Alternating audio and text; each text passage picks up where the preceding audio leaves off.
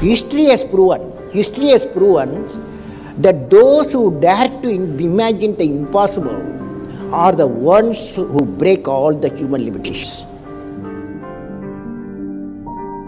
In every field of human endeavor, whether science, medicine, sports, arts, or technology, the names of the people who imagined the impossible are engraved in our history.